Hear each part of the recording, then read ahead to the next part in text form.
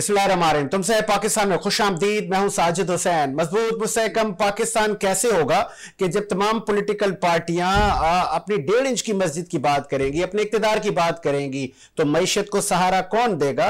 आ, हमने देखा कि जो भी मिनिस्ट्रियों पर आते हैं और इकतदार संभालते हैं तो वो स्टेटमेंट की हद तक तो सब ऐलानात हो रहे थे लेकिन अमली तौर पर कुछ नहीं हो रहा था जब वज़ीर ख़जाना इसाक डार साहब आए तो वो भी फेडरेशन में आए तो ज़ुबैर मोती वाला से लेके दीगर अहदेदारान को बड़ी उम्मीदें थी कि कुछ बेहतर होगा। तो मास एक प्रेस कॉन्फ्रेंस नहीं, कि आप तमाम बिजनेसमैन को आप इंगेज करते हैं, वो आपके साथ खड़े होते हैं, वो आपकी पॉलिसीज़ पर लबैक करते हैं, लेकिन उनको रिटर्न में क्या मिलता है? और जब वो वेट कर रहे होते हैं कि जो हमारे मामला थे तो हुकूमतें ही चली जाती हैं। कोई आइनी मुद्दा पूरा होने से पहले चली जाती हैं तो कोई आइनी मुद्दा पूरा तो कर देती हैं, लेकिन अलबत्त वो जो टारगेट थे, वो हुकूमतों से अचीव नहीं होते। तोशा खाना स्कैंडल अब इतना तूल पकड़ गया कि सबक वज़ीर अजम इमरान खान साहब ने T V anchor Shahzeb Khanzada और दीगर हुकूमती लोगों पर केस दाखिल करने का भी इंदिया दे दिया। वो अभी तक कह रहे हैं कि ये मुझ पर इल्ज़ाम हैं। इस पर भी हम बात करेंगे बात करेंगे पाकिस्तान की मीशत कैसे दुरुस्त होगी, डॉलर क्या दो सौ से नीचे आ पाएगा या नहीं। कराची समेत मुल्क में सोशल सरगर्मियाँ अक्सर में देखने को मिलती हैं कि जब इस मुल्क पर आफात आती हैं या कोई सैलाब आता है, डिज़ास्टर होते हैं तो जो एन होती हैं, माज उनके आसरे पर उनको आवाम को छोड़ दिया जाता है। तो हुकूमतों की जो टीमें हैं वो कहाँ हैं? उनके कितने बजट हैं? तो वो कहाँ यूटिलाइज होते हैं? ह्यूमन राइट्स के महकमे हैं, उनके करोड़ों के बजट हैं, लेकिन वो यूटिलाइज नहीं होते। अलबत् हुकूमत भी कहती हैं कि हम जेडीसी हम सैलानी, हम इनके साथ मिलकर आवाम की खिदमत करेंगे। तमाम ऊपर बात करेंगे। इस स्टूडियो हमारे साथ मौजूद हैं आप वाइस चेयरमैन हैं पाकिस्तान चैप्टर मेमन लीडरशिप के और एमडी हैं आप ड्रीम वर्ल्ड के मारूफ बिजनेसमैन जब्बार राठौर साहब। राठौर साहब, आपका शुक्रिया। आपने टाइम दिया। उनके साथ मौजूद हैं आप मारूफ बिजनेसमैन हैं, कई मुल्कों में आपके बिज़नेस हैं। पाकिस्तान की मीशत को अच्छा आप बूस्ट देते हैं और अच्छा आपका तजिया है। पाकिस्तान की मीशत पर नज़र है आपकी। सियासत से लेके जो सोशल मामला हैं उनमें काफ़ी एक्टिव नज़र आते हैं। आप सीईओ हैं सेविंग होम के, इकबाल अडवाणी साहब। आपका भी शुक्रिया। अडवाणी साहब, आएँगे आपके पास। अडवाणी साहब, मैं चाहूँगा पहले ज़रा आप सियासत पे हम नज़र डालें तो फिर हम आते हैं सोशल एक्टिविटीज़ और दीगर मामला पर। तोशा खाना स्कैंडल बहुत बड़ा एक अब मामा बन गया है कि एक सबक वज़ीर आज़म को अब तनकीद का निशाना बनाया जा रहा है कि जी आप चोर हैं। जो वो, आपको याद होगा, खान साहब कहते थे, शहबाज शरीफ चोर। फला चोर, जरदारी चोर। आज हर मकातब फ़िक्र मीडिया हुकूमत, सब कह रहे हैं, खान साहब, घड़ी किसको बेची? क्या यही रह गया है सियासत में बस? देखिए, हमारे साथ यही प्रॉब्लम है कि बस हम जहाँ जहाँ किसी के साथ भी उसके कुछ माइनस पॉइंट अगर हमको कहीं मिल जाते हैं तो उसको हम ज़्यादा हाईलाइट करते हैं। और ये पाकिस्तान की सियासत में ज़्यादातर यही होता है। अब दो दिन बाद या एक दिन बाद कुछ और मिलेगा किसी और के बारे में हम्म। तो ये लोग उसको लेकर आएँगे। चटपटी खबरें चाहिए। बस तो असल में मसला ये है कि ये किसी हमारे यहाँ प्रॉब्लम सबसे बड़ा पता है क्या है? कि यहाँ अगर आप किसी की तारीफ़ करोगे ना हम्म।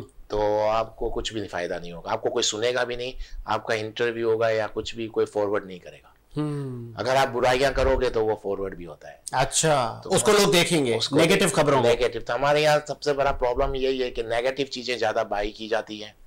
तो इस वजह से कि जो भी ऐसी कोई नेगेटिव न्यूज़ मिलती है या कहीं से इंफॉर्मेशन मिलती है तो उसको ज़्यादा हाईलाइट किया जाता है। और क्योंकि पता नहीं हम लोग किस तरह के लोग हैं, हम ज़्यादा नेगेटिव बातें करना पसंद करते हैं। आप यूँ उमूमन कहीं भी चली जाएँ, किसी दोस्त से भी मिल लें, और वहाँ जाके आप किसी दूसरे दोस्त की तारीफ़ करें तो आपसे पाँच मिनट में बोर हो जाएगा।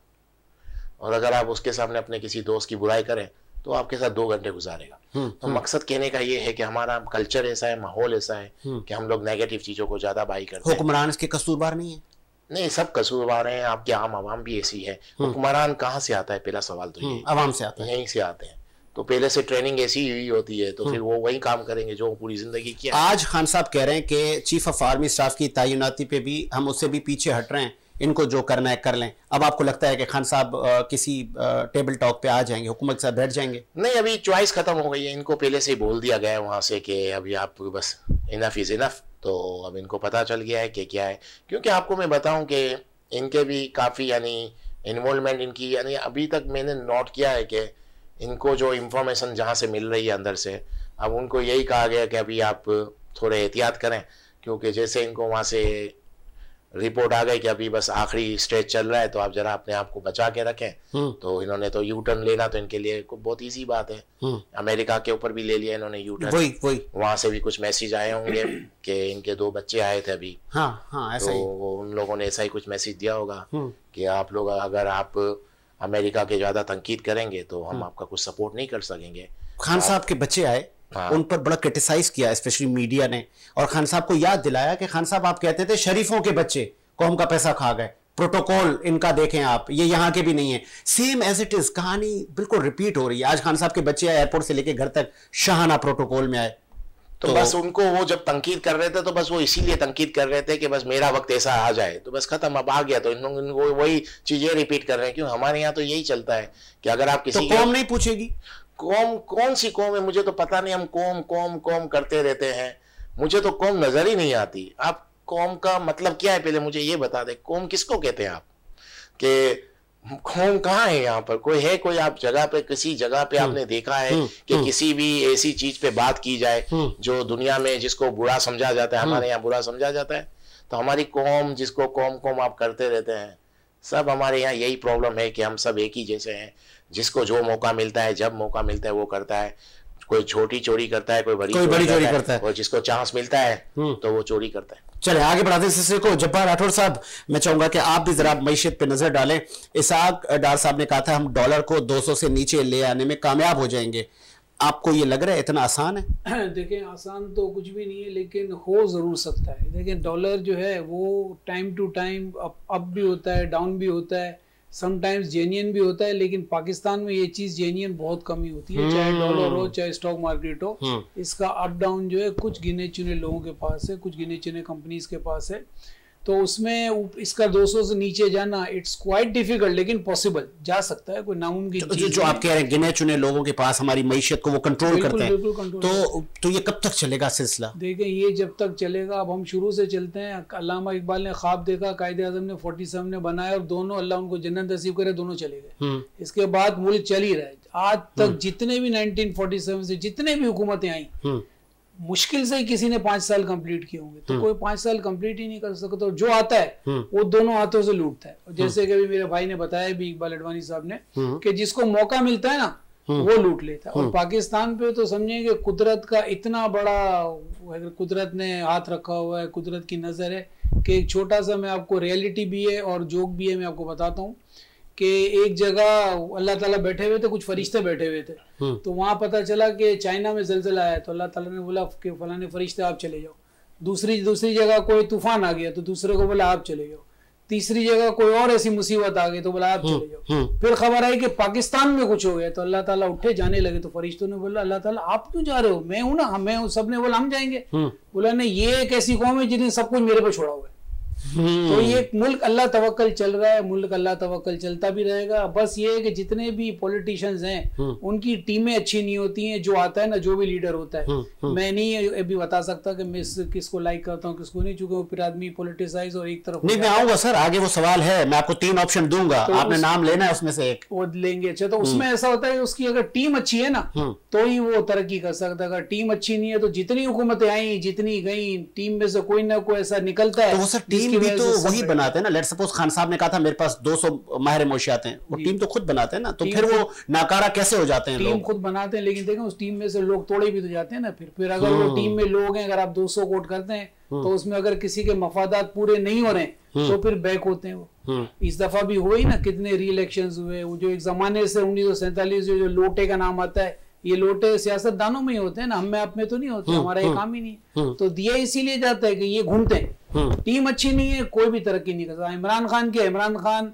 जरदारी नवाज़ शरीफ ऐसे दस दस लोग भी आ जाए ना तो जब तक टीम अच्छी नहीं है आप कुछ भी नहीं कर आपको नहीं लगता कि खान साहब ने इस कौम को उम्मीद दिलाई थी और बहुत सारी आवाम ने उनको सपोर्ट किया? उन्होंने कहा था कि मैं नए लोग लाऊँगा मैं यंगस्टर लाऊँगा लेकिन कौम ने देखा वही चेहरे थे। वही चेहरे थे और वो आप नाकाम भी हो कुछ गए। उसमें कुछ नए भी थे अगर आप 200 में से 150 या 100 चेहरे पुराने थे और 50 60 नए थे तो उन अगर नयों की नहीं चलेगी पुरानों की चलेगी पुराने अगर करप्शन में इन्वॉल्व होंगे तो टीम ने तो बैठना है ना खान साहब हो चाहे कोई भी उसने तो फिर हटना ही है यही एंड हुआ इस हुकूमत का।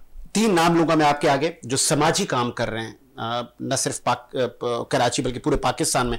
उन तीन में से एक आपकी नज़र में जब्बार राठौड़ की नज़र में कि यार दैट वन ये बेहतरीन काम कर रहे हैं। नंबर वन पर है हमारे पास बशीर फारूकी साहब। सेकंड पर है रमज़ान चीपा एंड थर्ड पर है रहीम जानो।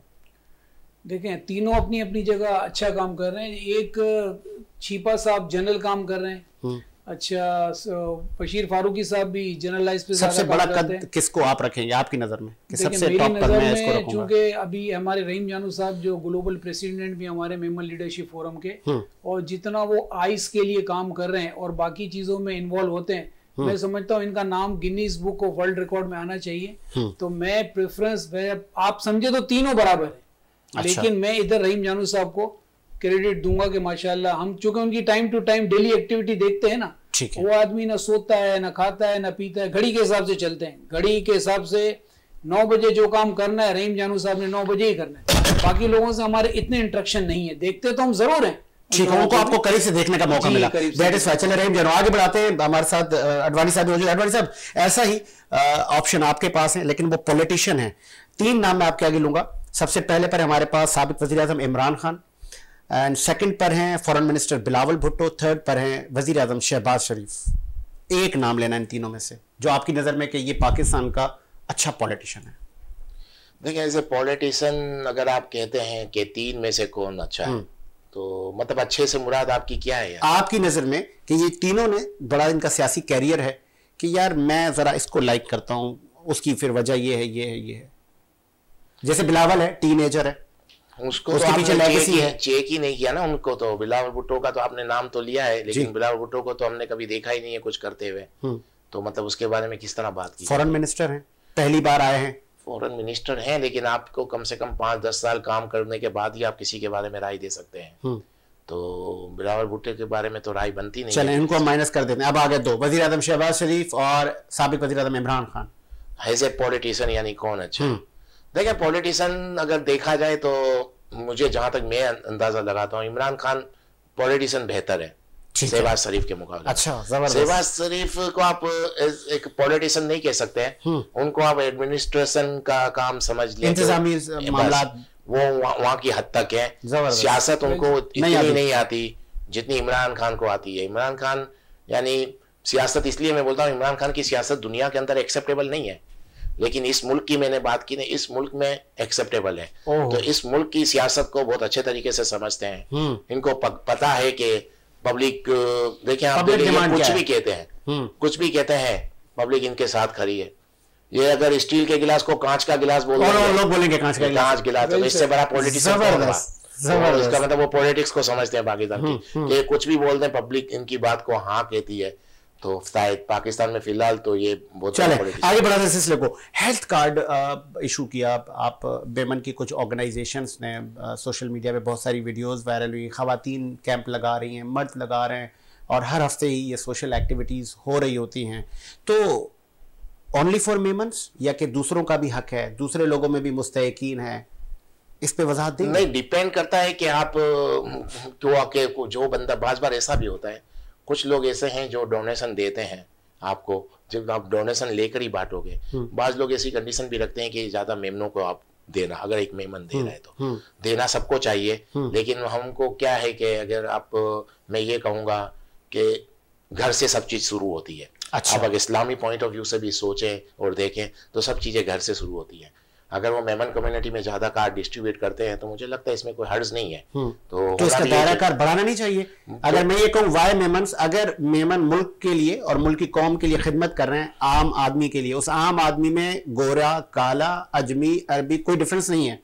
तो हम चूना इसको आगे बढ़ाएँ। नहीं तो आपको किसने कहा सिर्फ़ मेमन को दिया जा रहा है? नॉन मेमन को भी दिया जा रहा है कार्ड अब मैं अपना मेडिकल हम्म। कैंप लगाता हूँ हम्म। तो मैं कितने नॉन में ज़्यादातर तो कितनी ऐसी जगह पे लगा जहाँ मेमन है ही नहीं।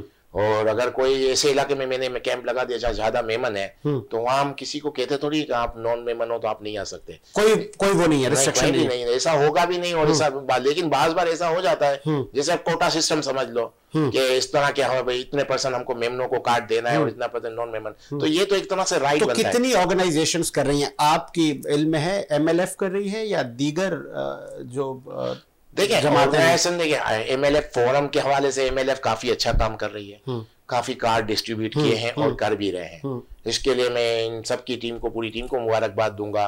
रहीम जानू साहब जो इनके ग्लोबल के प्रेसिडेंट हैं अख्तर हरफा साहब जो चेयरमैन है यहाँ के ये काफ़ी एक्टिव है इन चीज़ों में। अयाज बंदूकड़ा जो वाइस चेयरमैन है वो भी हेल्थ कार्ड के मामला में काफ़ी एक्टिव है। तो इनकी पूरी टीम मुबारक के यानी तारीफ़ के लायक इनकी जितनी तारीफ़ की जाए कम है। बाकी रहा सवाल हो रहा अब दूसरी तरफ़ आज अभी उपलेटा जमात ने भी हमारी मेमनों की कार्ड डिस्ट्रीब्यूट किए हैं और काफ़ी तादाद में कर रहे हैं। तो इनके जो अभी नए प्रेसिडेंट है मकसूद मसूद पारेक मसूद पारेक साहब। नो डाउट इनकी भी बहुत बड़ी खिदमत है मेमन कम्युनिटी के लिए भी और नॉन मेमन के भी लिए।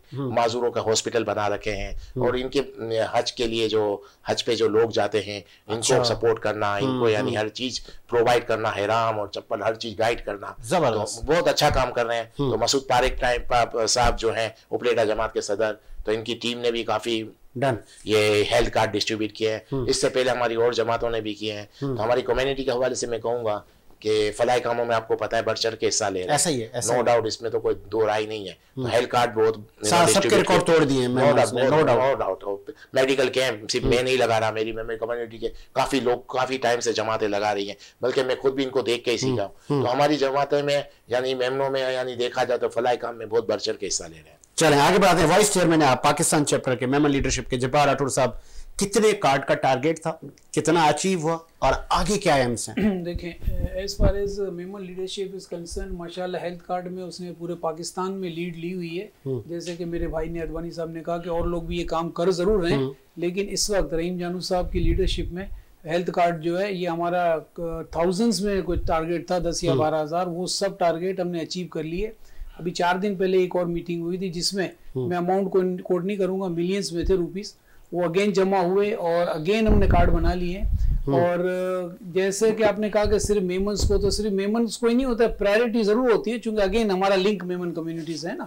तो जितनी भी जमातें हैं जमात बेस पे कार्ड दिए जाते हैं और बल्कि अब तो हमने इस मरतबा नॉन उसको जो जक़ात नहीं लेते ना सईद लोग होते शहीद आदात तो उनके लिए भी कार्ड इशू किए इशू किए उसमें जक़ात अप्लीकेबल नहीं होती उनके तो वाइट मनी से किया ये कार्ड्स वाइट से भी हैं और जक़ात मनी से भी बताएँ। और अब हम नॉन मेमेंट्स की तरफ़ भी जा रहे हैं जिस तरह अदवानी साहब मेडिकल का कह रहे हैं ना इसी तरह ये कार्ड हम मतलब वो जो कार्ड का जो मामला है वो दूसरी जो कम्युनिटीज हैं उनमें भी आप तकसीम करेंगे। उनमें भी उनमें भी स्टार्ट करेंगे। अभी तो हम जो जक़ात नहीं लेते ना साहिबान उनके लिए स्टार्ट कर दिया। ये नॉन मेमन्स में भी आएँगे। देखिए ये मेमन कम्युनिटी को तो अल्लाह ने जितना पैसा दिया उतना बड़ा दिल भी दिया है। हम्म, मेमन हम्म। कम्युनिटी में और लोगों का भी हाथ होता है। मैं हम्म, किसी स्पेशली नहीं कर हाथ देने वाला होना चाहिए। हाथ देने वाला होना चाहिए। और हम लोग क्या करते हैं हम लोग मछली खाने से प्रेफर करते हैं ज़्यादा कि मछली पकड़ना सिखाएँ।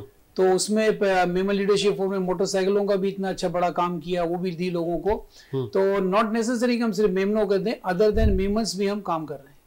आगे बढ़ाते हैं सिलसिले को। तीन नाम मैंने अडवाणी साहब को लिए पाकिस्तान के पॉलिटिशियन के। वही तीन नाम मैं आपकी तरफ़ ले आऊँगा। इमरान खान बिलावल भुट्टो और शहबाज शरीफ। इमरान खान। क्योंकि बाकी डिटेल ये बता चुके तो डिटेल की रिपीट तो हो जाएगा ना? ठीक है। इमरान मतलब इमरान खान आपकी नज़र में अच्छे लीडर हैं। यस आगे बढ़ाते हैं सिलसिले को।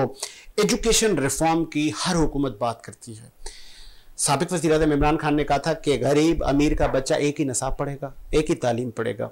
तो तब हम सवाल करते थे, ये कैसे मुमकिन है? Federal board, A level, O level, फिर प्राइवेट सेक्टर इतना बड़ा, जिसको कहते हैं माफिया, स्ट्राइक हो जाती है, स्कूल बंद हो जाते हैं। कैसे होगा? देखिए, मैंने जैसे आपको पहले भी कहा कि जो भी हुकूमत यहाँ आती है ना, उसके पीछे एक टीम वर्क होता है। इमरान खान आए या कोई और प्राइम मिनिस्टर आया वो लेके तो ख्वाब ख्याल तो बहुत लेके आते हैं हम्म। लेकिन जब वो कदम रखते हैं ना यहाँ इलेक्ट होए और उसमें अपोजिशन इतनी बढ़ जाती है और इतने लोग वो तोड़ना शुरू करते हैं तो अब कानून पास हुए ना वरना पहले कहाँ था ये दो चार पाँच साल तक तो हम्म। ऐसा नहीं था जो दूसरी तरफ़ गया हो गया हम्म। तो इनके पीछे इतने लोग लगे हुए होते हैं फिर ये तोशा खाने की चीज़ें निकलती हैं तो कभी कुछ निकलता है तो कभी कुछ निकलता है तो ये इन्हीं कामों में लगा देते हैं इनको दो साल तीन साल चार साल तीन साल होते नहीं है बोलते चलो भाई रिमूव करो तो कोई पॉलिसी पे इम्प्लीमेंट करने ही नहीं देती हमारी पूरी आवाम पूरी दूसरी जो पॉलिटिशियन होते हैं ना इनके अपोजिशन हम्म। वाले हम्म। काम ही नहीं करने देते हैं। अगर कोई पिछली गवर्नमेंट ने कुछ किया होगा तो अगली रोक देगी। हम्म। ये करने जाएगी तो इसको रोक देंगे। इसका काम आगे बढ़ गया तो अगली आने वाली बोलेगी अच्छा तू ये कर में रोकता हूँ। इसीलिए तो हमारे प्रोसेस जो पहले हमारे स्कूल के जमाने में होता था पंच साल मंसूबा। अब वो पंच साल मंसूबा मैंने तो नहीं देखा तीस साल से। अब तो पंच साल नहीं होता अब तो साला साला होता है वो महीना। जो मंसूबा होता ही नहीं है। आठ साल दस साल पंद्रह साल। हम्म। जो दूसरी आती है हुकूमत उसको रोकती है बोलती है हमारा कर। अब स्कूल जो गवर्नमेंट की इमारतें पड़ी हैं बेयार और मददगार कोई उधर इंफ्रास्ट्रक्चर दीवारें टूट रही हैं वॉशरूम नहीं है पंखे नहीं है उसको भी एनजीओ अडॉप्ट करने लगी हैं। तो अगर सब पूरा मुल्क के एनजीओ ने चलाना है क्या जब्बार साहब? तो हुकूमतें फिर क्या कर रहे हैं? देखें हुकूमत तो बस वही कि अपनी सीटें संभाल रही है। एनजीओ ही कर रही है ये काम बात बहुत से लोगों ने हमारे भी कुछ जानने वाले लोग हैं। मैं जैसे ड्रीम वर्ल्ड में तो मेरा ब्रेड एंड बटर है। I work there as an executive director लेकिन मैं और जगह पे भी हूँ। हम्म। तो उन ऑर्गेनाइजेशन ने स्कूल्स को अडोप्ट किया हुआ है। तो हम्म। वही स्कूल अब चल रहे हैं या तो वो प्राइवेट हैं या तो अडोप्ट किए हुए गवर्नमेंट के स्कूल में ना कुछ हुआ है लेकिन अल्लाह करे मेरी बात गलत हो ना कभी कुछ होगा। अच्छा अडवाणी साहब एजुकेशन रिफॉर्म हर हुकूमत जब आ रही होती है तो अपोजिशन में होती है तो कहती है कि हम एजुकेशन पे काम करेंगे, हम हेल्थ पर काम करेंगे। हेल्थ कार्ड वज़ीर अजम शहबाज सबक इमरान खान दे रहे थे के पी के में दिए सिंध में, वो कहते थे, जी, हमें सिंध हुकूमत देने नहीं देती। एजुकेशन पे कब काम होगा? आपने देखा, अब सैलाब जब आया तो वो सैलाब मुतासर उन्होंने स्कूलों में रह रहे थे। तो बच्चों को बोला, भाई, छुट्टी कर दी, आप जाएँ घर। देखिए, अगर आप तालीम के हवाले से कहते हैं कि तालीम पे कब काम हो देखिए कुछ चीज़ें ऐसी होती हैं जिसकी आप बेसिक को अगर पकड़ लेना हम्म। तो बाकी सब काम आस्ते आस्ते खुद ही बाखुद हो जाते हैं। हम्म। हम ये करेंगे वो करेंगे ये करेंगे कुछ नहीं करने की ज़रूरत हम्म। सिर्फ़ एक काम कर दें सब काम हो जाएँगे। एक कंडीशन रख दें जितने भी गवर्नमेंट एम्प्लॉय हैं मिनिस्टर हैं या प्राइम मिनिस्टर जितने भी हैं वो अपने बच्चों को गवर्नमेंट स्कूल में पढ़ाएँगे। बस कुछ नहीं करना आपने। वो सिर्फ़ अनाउंसमेंट कर दें हम्म। आपकी गवर्नमेंट स्कूल का मैार ऊपर चला जाएगा। बेहतरीन। और कोई हल नहीं है। सब बेहतर तो खुद ही खुद ही इंफ्रास्ट्रक्चर भी बेहतर होगा भी बेहतर होगी। कोई भी ऐसी चीज़ पकड़ लें जिसकी बेसिक को हम्म। तो बाकी सब काम हो जाता है। आपने कुछ करना नहीं अलाउ ही नहीं करो किसी भी गवर्नमेंट में जो गवर्नमेंट के एम्प्लॉय हैं जो मिनिस्टर हैं बड़े बड़े उहदों पे हैं जितने भी जो गवर्नमेंट सर्वेंट जिनको हम समझते हैं उनके बच्चे गवर्नमेंट स्कूल में पढ़ेंगे। आपकी एजुकेशन का मैार ऊपर आ जाएगा। हम्म, हम्म। इसमें कोई दो राय नहीं है बस ये छोटे छोटे काम करने हैं। हम्म, इससे अब हेल्थ पे भी आ जाए आपने हेल्थ पे भी आ जाए। उसमें भी एक ही काम करना है। जितने भी गवर्नमेंट जो है वो गवर्नमेंट हॉस्पिटल में इलाज कराएँगे। ना बाहर जाएँगे ना प्राइवेट हॉस्पिटल में जाएँगे। और उनका गवर्नमेंट हॉस्पिटल में इलाज कराएँगे उसका मैार ऊपर आ जाएगा। ये दो चीज़ें कर लें आपकी हेल्थ और आपकी तालीम दोनों प्रॉब्लम सॉल्व हो जाएँगी।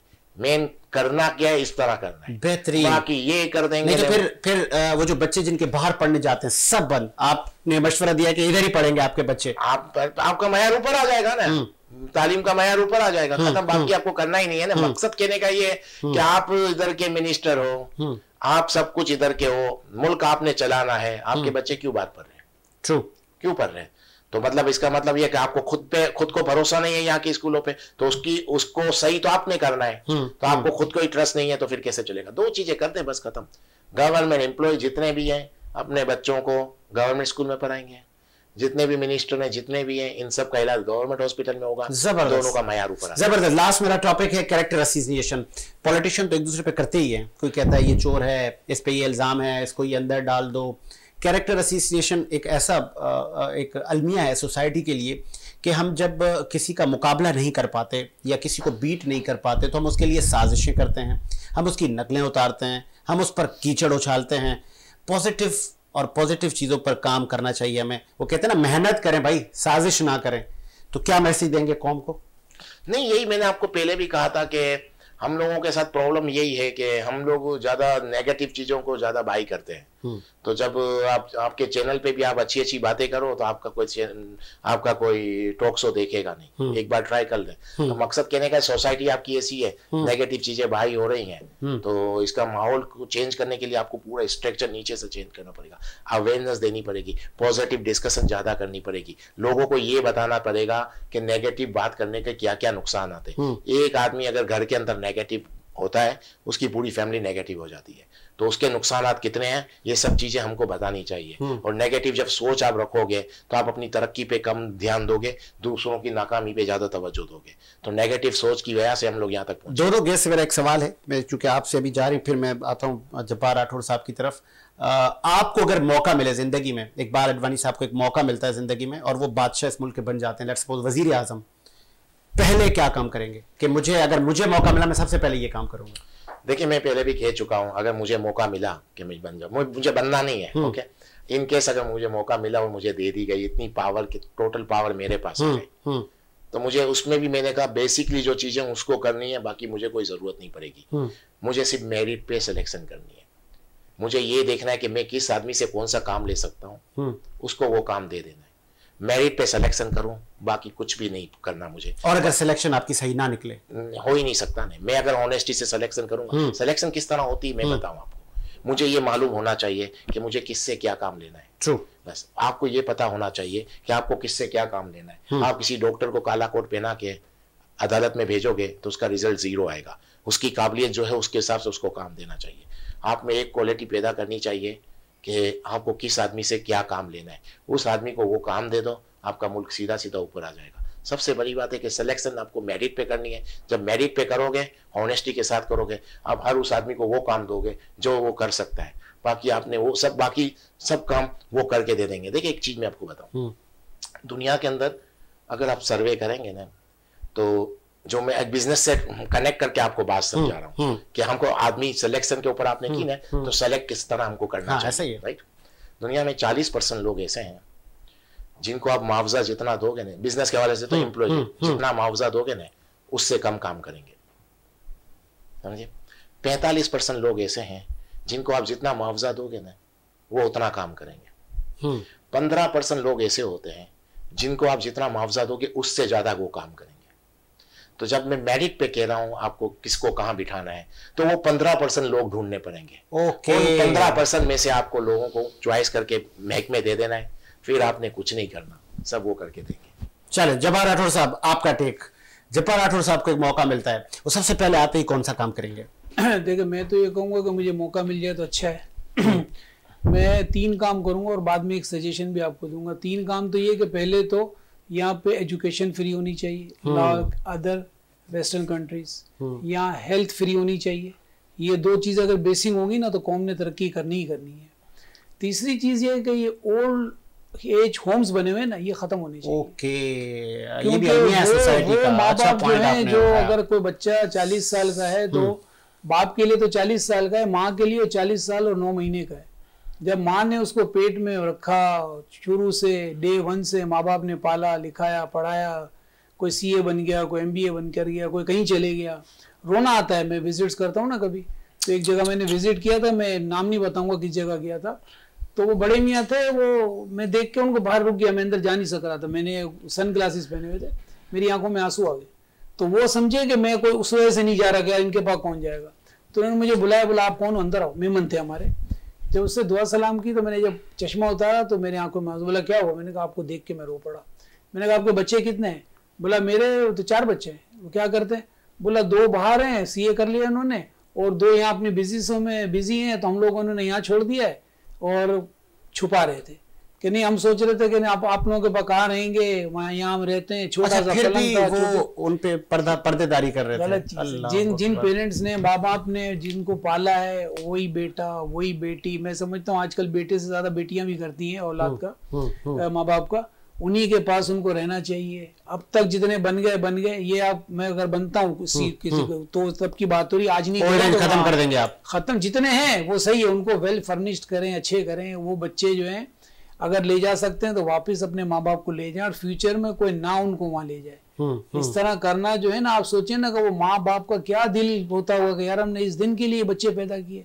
बच्चा पैदा करना is one of the difficult job है ना औरत के लिए। हम्म, हम्म। फिर उसके बाद वो देखती है कि मैं साठ पैंसठ सत्तर साल अब जब मैं इस एज पे पहुँची कि मुझे पैम्पर पहनना है माँ बाप को तो वो उनको वो ओल्ड एज वाले पहना रहे हैं। ये इस कौम का अलमिया है ना। होता होगा दूसरी कंट्रीज़ में भी होता होगा बीइंग अ मुस्लिम हमें ये नहीं करना चाहिए। हम्म, हम्म, हम्म। तो ये तीन काम करेंगे और आप बना दें तो और भी काम सोच के करेंगे। चलें जी कुछ कहना चाह रहे थे अडवाणी साहब आप लास्ट में? मैं कहना चाह रहा था। जी, जी, पहले आप कह लें। जी जी बोले बोले बोले। तरक्की के ऊपर बात तो करनी थी। मैं हर अपने इंटरव्यू में अल्हम्दुलिल्लाह आपके साथ और काफ़ी लोगों के साथ होते हैं। मैं एक मैसेज देता हूँ आखिर में कि ज़िंदगी में कभी भी कोई तरक्की कर रहा हो ना तो उसका अपने हाथ पकड़ना है। उसका पाँव नहीं पकड़ना क्योंकि उसको हाथ तो उसने कुदरत ने पकड़ा है ना। जब कुदरत किसी को इज़्ज़त दे रही है कुदरत किसी को ऊपर ले जा रही है तो who the hell are you कि आपने नीचे से उसकी टांग खींची। अच्छा फिर आपने उसकी एक टांग तो खींच ली। यू बिलीव इट और नॉट कि उसने दूसरी टांग मारना है आपको हटाना है उसने ऊपर ही जाना है। ऊपर तो कुदरत ने हाथ रख पकड़ा कुदरत ने जब हाथ पकड़ा तो आप क्या कर सकते लेकिन यहाँ ऐसा नहीं होता है। यहाँ जैसा भी भाई ने भी कहा कि कोई खुश नहीं होता। तो जब खुश नहीं होता है तो यार आजू बाजू के लोग ही जी जी अमूमन। वही खुशी सब नहीं सब नहीं करते लेकिन कुछ लोग ऐसे होते हैं कि यार इसकी जगह तो मैं होता हम्म। ये चीज़ तो मैं बोल लेता हाँ। ये चीज़ अगर मैं करता तो अच्छी कर लेता। ये चीज़ इंसान को ही हसद कहलाती है ये आगे नहीं जाने देती। आप उसको आगे बीमारी से जाने निकलना दे, है जाने दे जाने दे अगर आप उसको जाने देंगे। वो कुदरत तो सबको देख रही है ना उसने आपको ही बढ़ा देना है। जिसको आप सहारा दोगे वो आपको खुद पक हाथ पकड़ के ले जाएगा ऊपर। हाथ पकड़े आप साथ चले गए टांग पकड़े उसने दूसरी टांग मारनी ज़बरदस्त। फिर आपने नीचे गिर जाना है। लास्ट में हाँ। जी अडवाणी साहब। पूछे कोई सवाल ही पूछ ये ये आप कुछ कहना चाह रहे थे ओल्ड एज होम के हवाले से? हाँ देखें यार बात ये है कि ये ऐसी चीज़ें हैं जिसके लिए हम कुछ भी बोलें लेकिन रियलिटी कुछ हटके है हम्म। जो तल्ख है। हर इंसान पता है क्या है? सेल्फिश होता है हम्म। बेसिकली जो औलाद आपने सोचा हो देखा होगा माँ बाप को ओल्ड हाउसेस में छोड़ देते हैं। अपने बच्चों की क्यों खिदमत करते हैं इतनी? ओहो ये ये ये। बच्चे को सुबह स्कूल छोड़ने भी जाएँगे। उनके तो लिए टाइम है। उनके लिए है। क्यों नहीं देते? क्योंकि बेसिकली इंसान हम कल की उम्मीद पे जीने वाले लोग हैं। कल की उम्मीद पे। और कल की उम्मीद माँ बाप से खत्म हो जाती है। वो तो किसी काम के नहीं है। और बच्चों से वो उम्मीदें वाबस्ता होती हैं कि ये मेरे कल काम आए हमारा सहारा बनेंगे। हाँ सहारा बनेगा। तो ये मेन ये ये सोच है ना जो हमारी सेल्फिश वाली कि मुझे इन लोगों से कितना मिला? ओके अब मुझे इनसे कुछ नहीं मिल सकता तो मेरे वो कुछ काम के नहीं है। क्योंकि वही बाप वही वही बेटा जो किसी का बेटा है वो किसी का बाप है उसके लिए बहुत कुछ कर रहा है। इनके लिए क्यों नहीं करता? इसका मतलब उसके पास वसाइल भी हैं करना चाहे कर भी सकता है लेकिन नहीं किया जाता। क्योंकि कल उसको उनसे कुछ नहीं मिलना कल इस इनसे मिलना है। तो ये सोच ये सेल्फिश लेवल हमारा खत्म नहीं होगा। तो ये आप कितना भी वक्त गुजर जाए ये और बढ़ते जाएँगे ओल्ड हाउसेस ये तो ये सोच। चेंज करनी है कि आज आपको जिनसे जिनसे कल का आपको कोई फ़ायदा नहीं हो सकता। लेकिन आप उनके कर्जदार हो। यानी इसका बेसिकली यानी पूरा निचोड़ ये है कि जब भी आप कर्ज उतारने वाली सोच बन जाएगी कि मुझे कर्ज उतारना है तो ये चीज़ खत्म होगी। और अगर ये सोच नहीं बनेगी कर्ज उतारने वाली और आपको ये होगा कि हाँ मुझे यहाँ से कुछ मिलेगा उसके पीछे भागना है तो फिर यही रिज़ल्ट आएगा जो आ रहा है। जिस तरह आपने एक एक मिसाल दी जब्बार साहब ने कि अल्लाह और फरिश्तों को कह रहा था मैं एक सीनियर आर्मी के अफसर विंग कमांडर लेवल उनसे बैठा हुआ था तो जब वो बुज़ुर्ग हो गए तो उन्होंने कहा बेटा मैं अकेला रहना चाहता हूँ कि ना मैं बेटी पे डिस्टर्ब हूँ ना बेटा मेरा डिस्टर्ब हो मेरी वजह से अब इस एज में मुझे वो देखें अपने बच्चों का टाइम मुझे वो पहले से ही आज के पेरेंट्स माइंड बना लेते हैं यार मैंने कोई कोना पकड़ लेना है।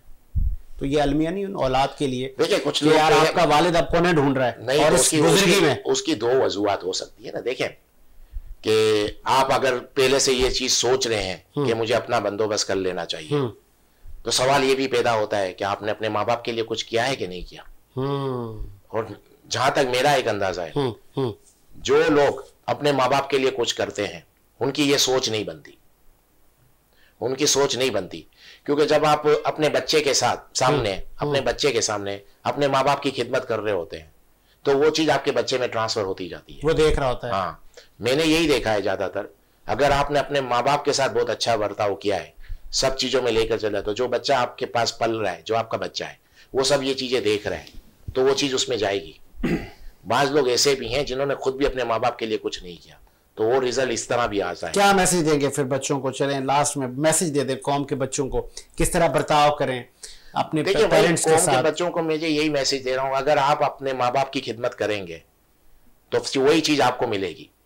तो अगर आप ये सोच रहे हो कि कल की उम्मीद पे जीना है तो कल की उम्मीद पे इस तरह जियो कि मैं अपने माँ बाप की सॉरी सॉरी फॉर इंटरप्ट वो जो एक्सक्यूजेस होते हैं नौजवानों के कि वालदा अब्बा बीमार है बुज़ुर्ग है मैं नौकरी को देखूँ मैं अपने बिज़नेस को देखूँ अपने बच्चों को देखूँ या इनको देखूँ फिर उनके लिए आया का बंदोबस्त किया जाता है। देखिए डिपेंड करता है आपकी नीयत है कि नहीं। मैं जहाँ तक समझता हूँ अगर आप करना चाहते हो तो आप कर सकते हो। कोई भी आदमी इतना मसरूफ नहीं है इतनी नाम पाकिस्तान में तो मुझे लगता है मसरूफियत है ही नहीं। कोई भी आदमी इतना मसरूफ नहीं है कि जो अपनी माँ बाप की खिदमत नहीं कर सकता। सही है? हर आदमी कर सकता है। जैसे आप अपने बिज़नेस को टाइम दे रहे हो वो आपके लिए इतना इंपॉर्टेंस है। तो जो जो आपके तो ये भी तो इम्पोर्टेंस है। लेकिन अगर आप उसको अहमियत देंगे उसको इम्पोर्टेंस चीज़ समझेंगे और उसको अपनी ड्यूटी समझेंगे तो आप कर सकोगे। अगर आप उसको दूसरी तरह से सोचोगे हम्म। तो फिर आप नहीं कर सकते बच्चों के लिए टाइम है माँ बाप के लिए नहीं है तो वही मेरी बात आ गई। देन लास्ट में क्या मैसेज देंगे जबार साहब नौजवानों को? दो मैसेज दूँगा। एक तो ये कि जैसे आपने माँ बाप का पूछा तो मैं समझता हूँ कि माँ बाप के साथ साथ चूँकि आपके घर में दामाद या बहू है तो आप सास ससुर का भी वो इतना ही एहतराम ख्याल करें क्योंकि उसका भी तो माँ बाप है ना वो। उनको भी वही इज़्ज़त दें जो आप अपने माँ बाप को देते हैं उनका भी इतना ही ख्याल रखें। ये अच्छा है ये कि अच्छी फैमिली का होता है।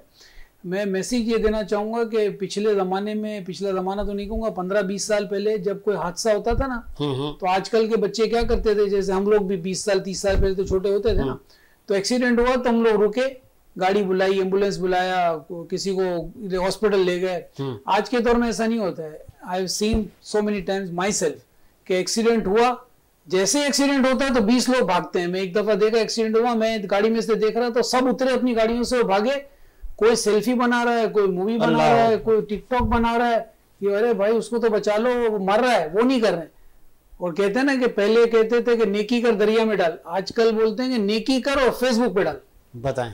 वो सब बना के डाल रहे भाई उसका इलाज करा लो कोई एंबुलेंस बुला लो कोई उसको को हाथ पाँव हिला लो यार। कोई अगर फंसा हुआ गाड़ी में उससे निकाल लो। ये चीज़ें करो आप सेल्फियाँ फ़ोटो नॉर्मल लाइफ में बनाओ ऐसी जगहों पे नहीं बनाओ। बहुत अच्छा मैसेज दिया ऐसी उम्मीद के साथ कि महबूब शादाबाद रहे मुझे साथ जब सुनकर इजाज़त दीजिए। मुलाकात होगी नए प्रोग्राम के साथ। अल्लाह हाफिज़।